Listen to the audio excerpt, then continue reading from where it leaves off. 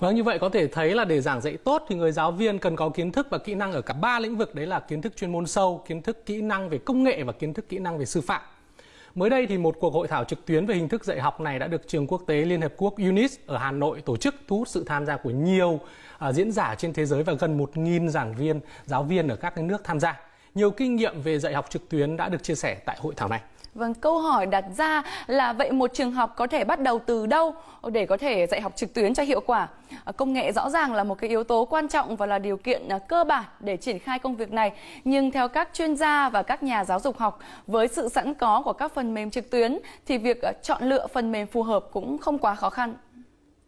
À, Vâng đúng vậy, công nghệ chỉ là phương tiện thôi, còn vấn đề chính ở đây cần tập trung giải quyết đấy là khía cạnh người thầy con người ở khía cạnh chuyên môn và khía cạnh phương pháp sư phạm. UNIS là một trường quốc tế với hơn 1.000 học sinh đến từ 60 quốc gia và vùng lãnh thổ.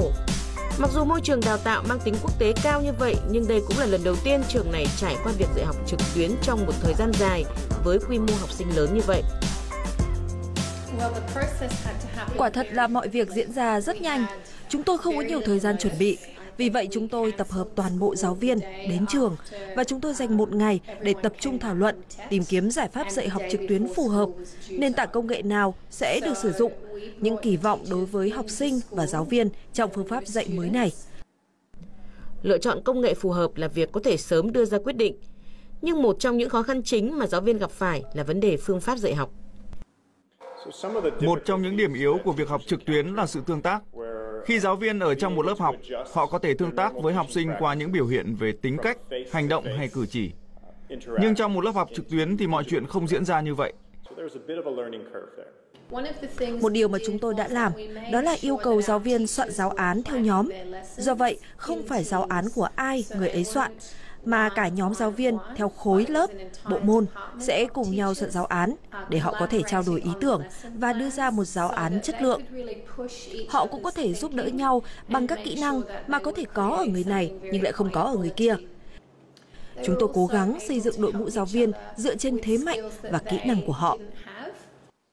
10 năm dạy ở trường này, nhưng cô giáo Đinh Thị Lê chưa từng trải qua quãng thời gian dài dạy học trực tuyến như vậy. Để bài giảng vừa đảm bảo nội dung kiến thức mà vẫn hấp dẫn được học sinh là một thử thách lớn. À, giáo viên vẫn dạy theo cách truyền thống ở một hai tuần đầu tiên thì chúng tôi cũng vẫn rất là bỡ ngỡ và khi mà các con tương tác với các con thì có thể là các con sẽ cảm thấy rất là nhàm chán thế nhưng mà với những cái bài giảng sau thì có những cái bài giảng mà khi tôi thiết kế cả một chuỗi hoạt động thì các con cảm thấy hào hứng hơn rất nhiều và có những cái buổi học mà lôi cuốn được các bạn và các bạn uh, gần như là không chú ý đến thời gian. Đối với cô Emma Hamilton, giáo viên mỹ thuật, việc lựa chọn nội dung bài học rất quan trọng để phù hợp với việc dạy học từ xa, nhất là cho lứa tuổi nhỏ như bậc mầm non. Thực sự, thời gian qua là một trải nghiệm đáng nhớ. Trước đây trên lớp tôi không có nhiều tương tác với một vài học sinh vì chúng chỉ tới lớp của tôi hai lần một tuần.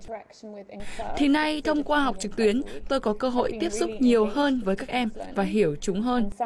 Nhận biết được điều này, có thể tôi sẽ thay đổi giáo án một chút hoặc thay đổi cách nhìn nhận của tôi với tất cả học sinh tôi dạy. Tôi đã làm rất nhiều video dạy học từ xa dành cho những đối tượng học ngay tại nước Mỹ, mà họ ở những vùng thậm chí không có Internet và cũng chẳng có học liệu. Chúng tôi đã sáng tạo học liệu từ kẹp giấy, của giấy vệ sinh, hay lon thiếc, những thứ sẵn có trong ngôi nhà của trẻ. Trẻ thực sự hứng thú khi tham gia hoạt động. Tôi chắc chắn rằng có rất nhiều nguồn tài nguyên tiềm ẩn trong bất kỳ môi trường nào và nhiệm vụ của giáo viên là tìm kiếm chúng.